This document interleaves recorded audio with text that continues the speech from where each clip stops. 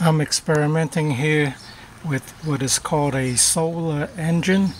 This is just a toy motor windmill and it's attached to this circuit here. This circuit has two transistors, one a PNP and one uh, NPN transistor.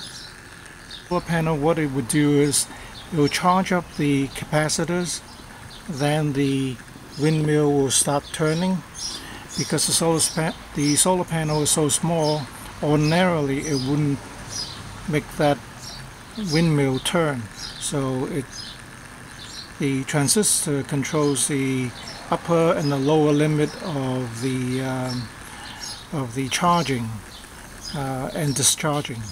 When it charges up to 5 volts or so or actually um, little over a volt and a half um, the motor will turn and then it will run until the voltage drops to about 0.7 and then um, it would charge up again uh, and the cycle repeats itself.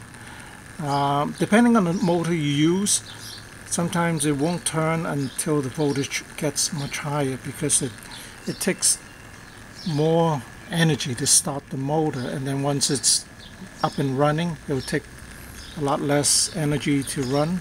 Now the motor is slowing down until there's no energy left in the capacitors and then it will stop and then it will just get charged up. It will take a while depending on how strong the sun is and then the whole thing will start again.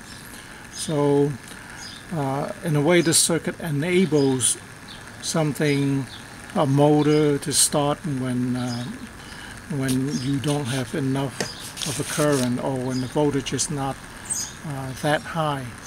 So it's sort of like I guess a, a run capacitor in, in, a bigger like a garage door opener motor or um, maybe an air conditioner motor.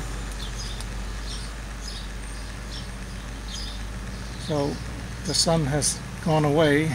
So this is still running because uh, it has the momentum until the energy is all gone